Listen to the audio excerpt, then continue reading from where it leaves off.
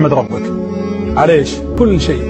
البصر نعمة والسمع نعمة والعافية نعمة والإسلام نعمة والأمن نعمة والاجتماع اللي أنتم عليه الآن نعمة. جلوسكم هذا نعمة. إن الحمد لله نحمده ونستعينه.